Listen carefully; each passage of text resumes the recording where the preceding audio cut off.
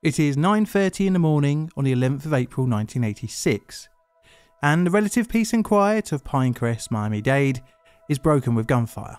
Preceding this was an attempted FBI forced stop of two suspected serial violent criminals. What would ensue in the erupting gunfire would become the most bloody day in FBI history.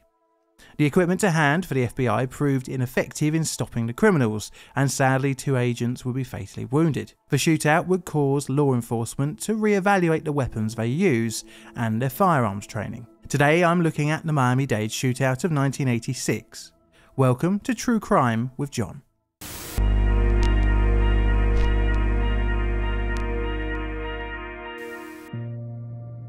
Background now, you don't have the FBI after you, usually for no reason, and today's subject's reason is a spree of violent crimes.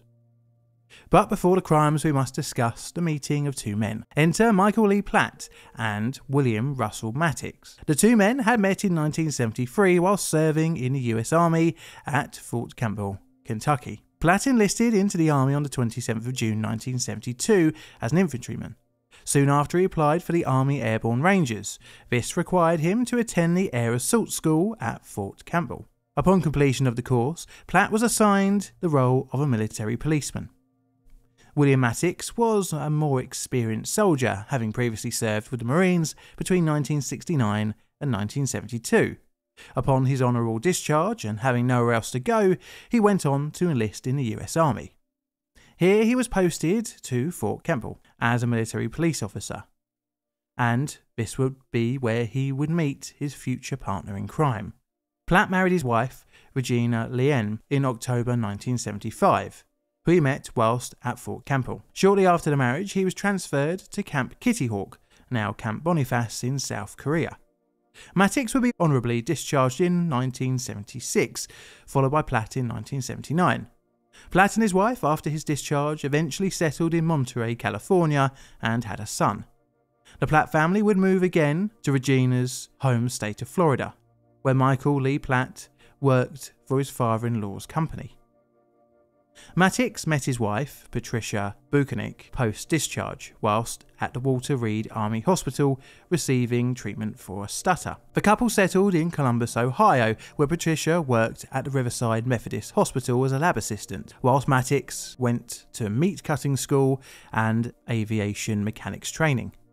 Now, I know this is a lot of preamble, but both men, although living in different parts of the country, would be drawn back together after a horrific murder.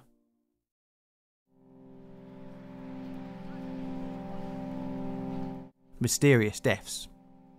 It is the afternoon of the 30th of December 1983, and Joyce McFadden and Patricia Matix are working in the laboratory at the Riverside Methodist Hospital in Columbus, Ohio. An unknown assailant broke into the lab, bound the two women, and cut their throats. Matix was the prime suspect, but no evidence linked him to the slayings. He was able to cash in the $350,000 life insurance policy and, encouraged by Platt, moved down to Florida. By now, Platt had just quit a landscaping company he had created with his brother, and now employment free, sought to form a new tree cutting company with Matix, and this was called Yankee Tree Cutting. But it wouldn't be just Matix's wife that met a grisly end. On the 21st of December 1984, Platt's wife of nine years, Regina, was found dead from a single gunshot blast to the mouth. Again, like his friend Platt, was the prime suspect, but lack of evidence led the coroner to rule her death as self inflicted.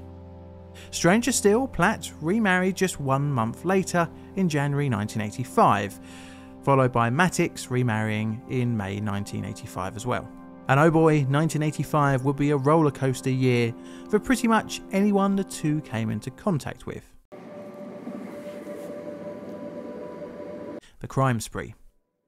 Bizarrely, both men before 1985 had no criminal record, apart from the cases of wife death. They weren't on the police's radar, at least before what was to come. They did have an odd run in with the law in early 1985 over a broken vending machine. The two had bought one via mail order and got into a dispute with the seller. Death threats and the like were made, but no criminal charges came from it. Matix and Platt, aged 34 and 32 respectively, undertook the first part of their spree. This would involve stealing a getaway car. On the 5th of October 1985, they found a car perfect for the job, parked up at a rock pit in the Everglades. It was a gold coloured 1977 Chevrolet Monte Carlo. But there was a problem Emilio Briel, its owner. Briel was shot dead Matix and Platt hid his body and drove off with his car. Briel's remains wouldn't be found until March 1986. On the 9th of October, Platt and Matix undertook their first robbery. This was an attack on a Loomis armoured car. Both men were wearing what was described as paramilitary gear and carried either AR 15s or M16 type weapons. The duo got away with $2,800, although they failed to get the total of $400,000 on board due to the armoured car's driver getting away. A day later, the duo struck again, this time a Wells Fargo truck. One of the guards was shot in the leg. A small gunfight ensued and both men got away empty handed. The injured guard later died in hospital. On the 17th of October, the men struck again, another Loomis armoured car. Shots from the guard erupted straight away. A couple of weeks would go by before another robbery would take place. On the 8th of November, two bank robberies took place on South Dixie Highway, netting Matix and Platt the best part of $50,000. The next glut of robberies hit in 1986, beginning with the 10th of January attack on a Brinks armoured car at Barnett Bank in Miami. One guard was shot in the back, first by shotgun, then twice more with an AR type weapon but amazingly, he survived. The two made off with $54,000 and were seen dumping Emilio Briel's Chevrolet and switching to a white Ford. Needing a new getaway car, they shot and robbed Jose Collazo on the 12th of March as he was shooting targets at a rock pit in the Florida Everglades. They drove off in his black Chevrolet Monte Carlo. This is definitely feeling a bit deja vu. At least to make a new cartoon, I only need to do this. Again, in a case of amazing luck, Collazo survived, reporting the crime after walking for three miles with a gunshot wound. Their final robbery involved hitting up the same bank as their January heist, and this happened on the 19th of March 1986. This robbery got them just over $8,000. The suspects fled in Collazo's vehicle. This string of robberies and murder unsurprisingly garnered the interest from the FBI. They didn't know who the assailants were, but they knew they had to stop them, and this would come on the 11th of April 1986. The shootout.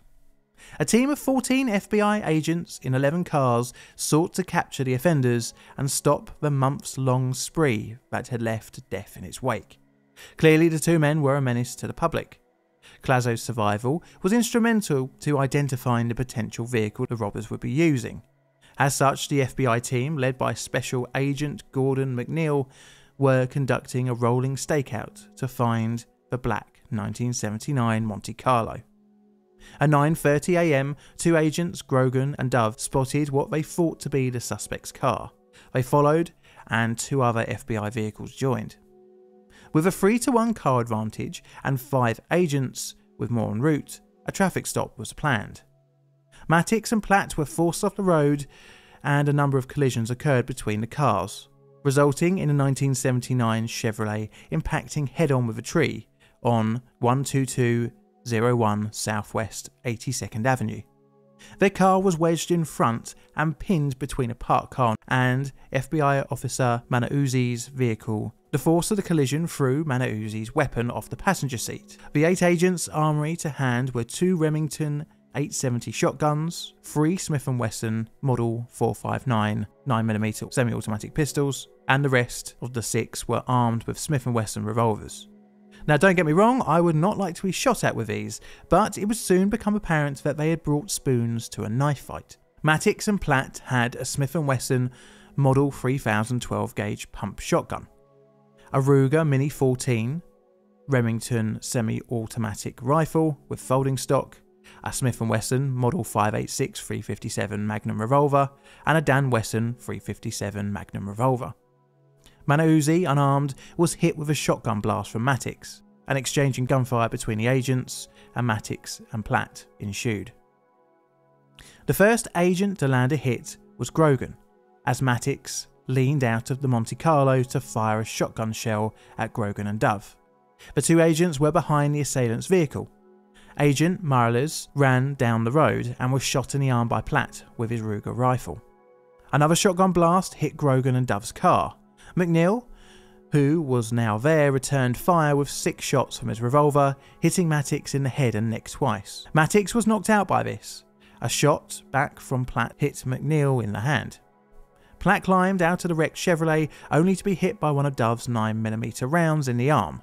The bullet penetrated his chest and lung. Out of the car, Platt now made his way across the parked car he had been wedged between, catching another two bullets.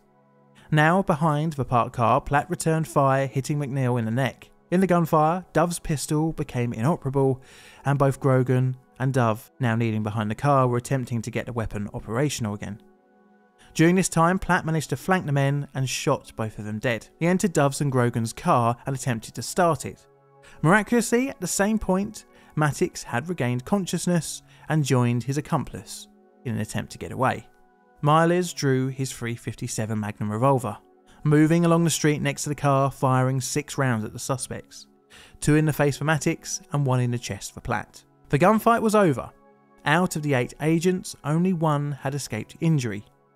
Four were dead Grogan and Dove, and the two assailants. In only five minutes, 145 shots between the two groups were fired. Aftermath. Both of the culprits' wives were shocked to find out what their husbands had been up to. They apparently hadn't seen any money, and without them at least admitting to know, a motive was hard to find. Okay, of course they wanted the money, but why in 1985 after many years in the forces and in civilian life? In the culprit's autopsies, it was found Platt's wound to his chest had caused a collapsed lung, allowing 1.3 litres of blood to fill his chest. This meant even if he had got away, he likely would have died soon after. A toxicology report on both men came back clear, meaning they were running on just adrenaline, which is pretty scary. The FBI placed partial blame on the weapons issued to the agents for the shootout's deadly result. They lacked the stopping power. Of the two long guns, with the eight agents, only one was deployed. The rest of the gunfight was slug out with service revolvers and a handful of 9mm pistols. The shootout would change the guns FBI agents would be supplied with to harder hitting weapons. Some of the wider team did have MP5 submachine guns and M16 rifles, but they hadn't reached the shootout in time. The event would push for wider adoption of larger guns for all agents involved in apprehending violent criminals. Only two of the agents had ballistic vests, which were rated for pistol caliber rounds, hardly a match for Platt's Remington, but definitely better than nothing. In memorial to the two slain agents, the village of Pinecrest, Florida, named the road that the gunfight took place on Agent Benjamin Grogan Avenue and Agent Jerry Dove Avenue. This is a Plainly Difficult video. All videos on the channel are Creative Commons Attribution Share Alike licensed.